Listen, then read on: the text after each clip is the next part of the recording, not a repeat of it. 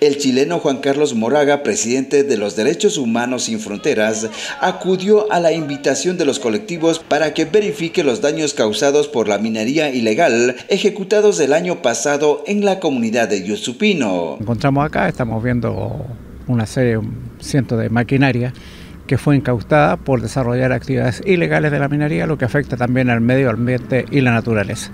Por eso nos encontramos acá y queremos escuchar también a los protagonistas y sobre todo a quienes han sido víctimas de esta situación. Aquí se violaron los derechos humanos de los residentes de las comunidades, manifestó. Luego de la visita de observación, elevará el informe a la Comisión de Derechos Humanos y al abogado que reside en España. Queremos hacer llegar esta información a la Corte Interamericana de Derechos Humanos y a todos los lugares donde corresponda, además de las autoridades de Ecuador también, por supuesto, a quienes le haremos llegar copia de cada una de nuestras denuncias. Por su lado, el defensor del pueblo manifestó que continúa a la expectativa de lo que ocurrirá con la maquinaria incautada en el operativo Manatí. Han transcurrido más de un año y no hay solución. Hemos ganado una acción de protección en dos instancias, tenemos presentadas denuncias en fiscalía. Producto de estas denuncias, lo que ustedes pueden ver acá atrás, 148 excavadoras incautadas, se paralizó la destrucción de más de 180 hectáreas en el sector de Yutsupino, pero lastimosamente tenemos que decir con toda franqueza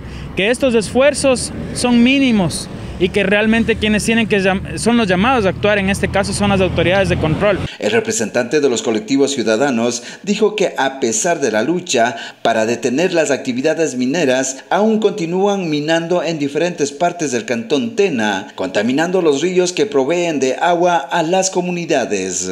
Tenemos 148 eh, retroexcavadoras detenidas. Deberían igual aquí estar 148 operadores mineros detenidos. Y la razón es que no tenemos a esas personas detenidas.